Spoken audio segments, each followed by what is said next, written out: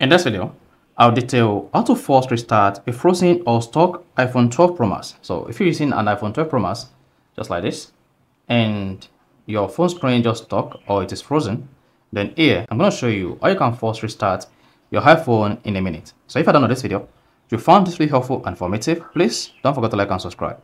Literally, when you're using iPhone 12 Pro Max, the easiest way to force restart your iPhone is to press the volume up button volume down button and then press the side key and hold it. Let's go ahead and do this. Volume up like this. Then volume down. Then go ahead and press the side button. Then you should see slide to power up. Just keep pressing the side button. Hold on.